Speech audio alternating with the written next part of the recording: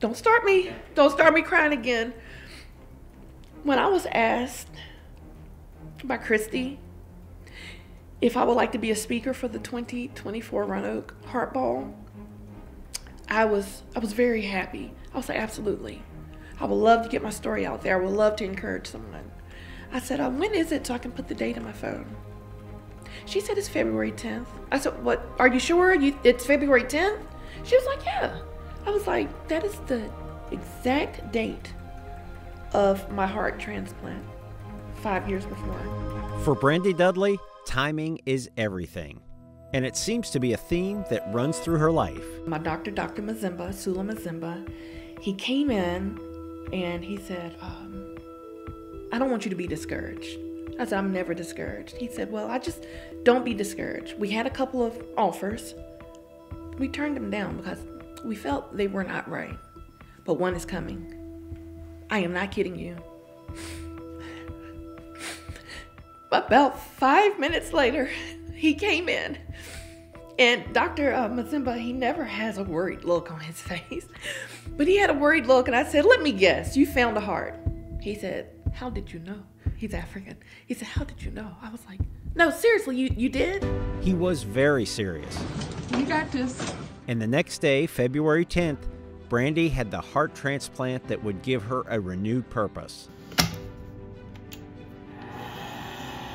She's one of the most positive people you'll ever meet, passionate about encouraging others and seeing the best even when times are difficult.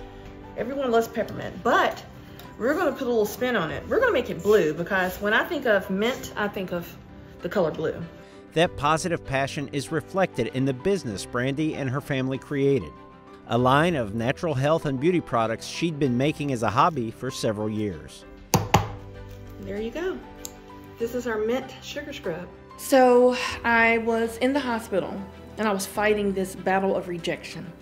And I said, I've got to do something more with this. And when people think of heart, they think of love. And then I was thinking people need to practice self-love more, taking care of their bodies, because you know, as you know, sometimes heart disease can be avoided. Sometimes heart failure if you eat right. And I was like, people need to practice self-love more. And I was like, oh, self-love. And with that epiphany, Brandy officially launched her self love brand. Products for the skin, but a message from the heart. I always say there's somebody out there going through something worse. But I want people to to live. Because I, I want people to know that they have a purpose in life. And I, I think I've been put here to educate people and also show them there's a light at the end of the tunnel. Give them some hope. Hope, encouragement, and time are what Brandy believes the American Heart Association have given her. Throughout her journey, the training, procedures, and devices that have saved her life are a direct result of what the American Heart Association does and what you are doing. It has helped me. I have a device called CardioMEMS, and CardioMEMS is able to measure how much fluid you have and whether you're in heart failure. It goes straight to the facility that you work with, and they can call you and say, Hey, Miss Dudley, you're heading into heart failure. Let's keep you out of the hospital. Increase this or reduce this. Through the money that AHA brings in and is donated to science, it has helped me. Even though I've spent a lot of time in the hospital, it could have been could have been more without this device that I use. So it is it is very important that it, it, no donation is too small. Even if you have pennies, change laying around, drop it off, donate it. A dollar, two dollars. If you're throwing a shindig, you're having a birthday party or anything, you want to have collections.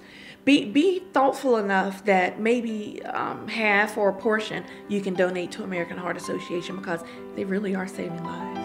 And they could possibly save yours.